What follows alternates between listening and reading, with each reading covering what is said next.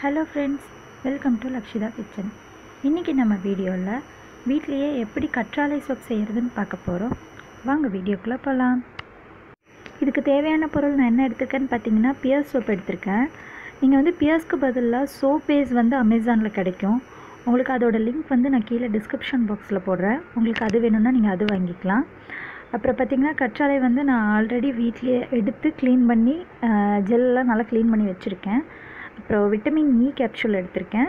அப்புறம் coconut oil எடுத்திருக்கேன். இப்போ நம்ம வந்து இந்த கற்றாழையை மிக்சியில் அடிச்சுக்கலாம் ஃபஸ்ட்டு இப்போ நான் அந்த கற்றாழை வந்து மிக்சியில் அடித்து ஃபில்ட்ரு பண்ணி எடுத்திருக்கேன். அரை கப் அளவுக்கு தான் இருக்குது இப்போ நெக்ஸ்ட்டு பார்த்திங்கன்னா இந்த சோப் வந்து நம்ம சின்ன சின்னதாக கட் பண்ணிக்கலாம். ஒரு ஃபுல் கப் இருந்திருந்தால் கூட நம்ம ஃபுல் சோப் யூஸ் பண்ணியிருக்கலாம் நான் வந்து அதுலேயும் பாதி கப் தான் எடுத்திருக்கிறேன். ஸோ அதனால் நான் சோப் வந்து ரெண்டாக கட் பண்ணி எடுத்துட்டேன். இதை வந்து சின்ன சின்னதாக கட் பண்ணி நம்ம டபுள் பாயிலிங் மெத்தடில் வந்து இப்போ இதை வந்து பாயில் பண்ண போகிறோம் எப்படின்னு காட்டுறேன்.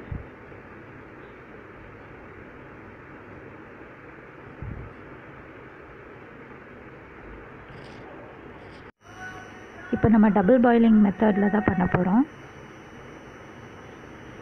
இந்த தண்ணி ஹீட்டில் சோப்பு கரைஞ்சதும் நம்ம வந்து அரைச்சி வச்சுருக்க அந்த கற்றாழை வந்து இதுக்குள்ளே மிக்ஸ் பண்ணி ஒரு டூ மினிட்ஸ் வரைக்கும் மீடியம் ஃப்ளோவில் வச்சு நல்லா சூடு பண்ணிக்கலாம்.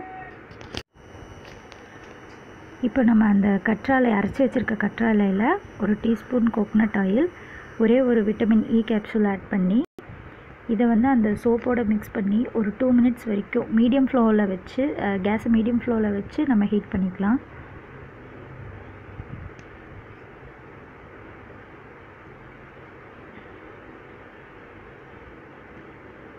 சோப் வந்து நல்லா கரைஞ்சிருக்கு. அதோட நம்ம கலக்கி வச்சுருக்க அந்த கற்றாழையை வந்து இதில் ஆட் பண்ணி கொஞ்சம் ஹீட் பண்ணிக்கலாம்.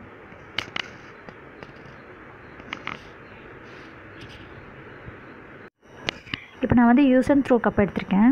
அதில் வந்து கொஞ்சமாக கோக்கனட் ஆயில் விட்டு கப்பில் ஃபுல்லாக அப்ளை பண்ணிக்கலாம். அப்போ தான் நம்ம சோப்பு ஆறுனதுக்கப்புறம் வெளியே எடுக்க கொஞ்சம் ஈஸியாக இருக்கும்.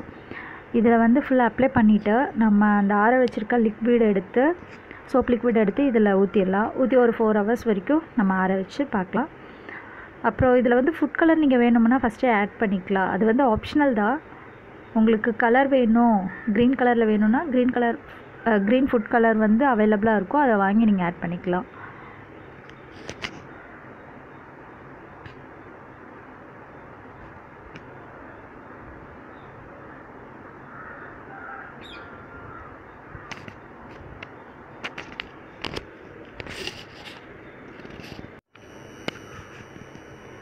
ஃபோர் ஹவர்ஸ் கழித்து பார்க்கலாம். நான் பார்த்திங்கன்னா ஒரு ரெண்டு கப்பில் செக் பண்ணலை. ஃபோர் ஹவர்ஸ்க்கு முன்னாடி நான் ஆல்ரெடி ஒரு கப்பில் செக் பண்ணேன். இந்த கப்பில் தான் செக் பண்ணேன். ஸோ அதோட ஷேப் மட்டும் கொஞ்சம் வித்தியாசமாக இருக்கும். இது ஃபோர் ஹவர்ஸ் கழித்து தான் செக் பண்ணியிருக்கேன். கற்றாழை சோப் இப்போ ரெடி ஆகிடுச்சு பார்த்திங்கன்னா நல்லா ரவுண்ட் ஷேப்பில் வந்திருக்கு. நல்லா தொட்டு பார்க்கவே சாஃப்டாக இருக்குது இந்த வீடியோ உங்களுக்கு பிடிச்சிருந்தால் லைக் பண்ணுங்கள் ஷேர் பண்ணுங்கள் கமெண்ட் பண்ணுங்கள் மறக்காமல் என்னோடய சேனலை சப்ஸ்கிரைப் பண்ணுங்கள் தேங்க்யூ ஃப்ரெண்ட்ஸ்